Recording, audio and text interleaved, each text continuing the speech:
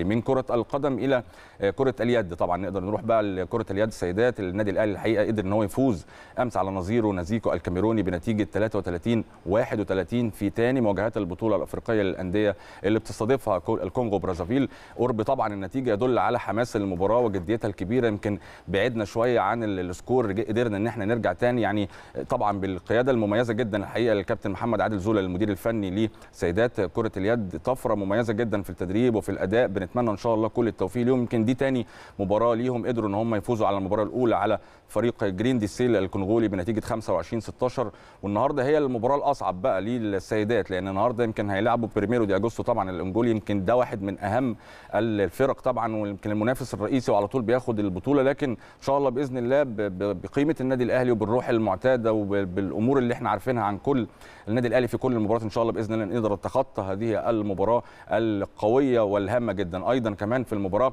حصلت فيفالدا. طبعا دا سيلفا لعيبه يد للنادي الأهلي على جائزة أفضل لاعبه في المباراة. مجهود كبير بيبذل من سيدات كرة اليد بالنادي الأهلي. ينقصنا إن شاء الله التوفيق النهارده في هذه المباراة. ويا رب نهود إن شاء الله بإذن الله يكون يوم سعيد لكرة اليد بالنادي بص الأهلي. خلينا بس نقول حاجة وأعتقد أنت هتتفق معايا فيها.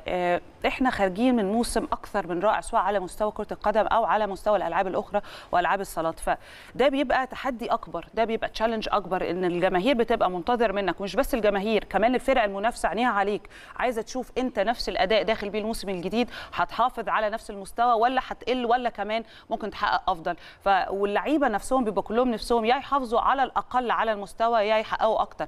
لكن فكرة إن أنا أخش بطولة ومستواي ينزل أو إن أنا أخسر بطولات عن اللي أنا حققتها طبعا ده غير مقبول تماما طبعا. وأكيد كل يعني الأبطال بتوعنا عارفين هذا الكلام. فعشان كده هو موسم صعب على كل الرياضات خليني أقول في النادي الأهلي تحديدا.